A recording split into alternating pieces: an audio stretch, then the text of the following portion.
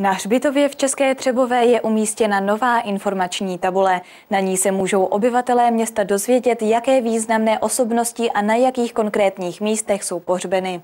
Tabule ukazuje téměř čtyři desítky míst, na kterých jsou pohřbeny důležité osobnosti města. Mezi nimi například František Rybička, lékař a také první volený starosta České Třebové. Za svého života se přátelil s Boženou Němcovou a Františkem Matoušem Klácelem. Najdete tady i hrob Mojmíra Stránského, což byl vynálezce a spoluautor vozítka Oscar, později Velorexu. Nechybí ani František Preisler, ředitel kůru. Stejného jména byli také dva jeho potomci dirigenti, kteří působili v řadě českých i zahraničních divadel.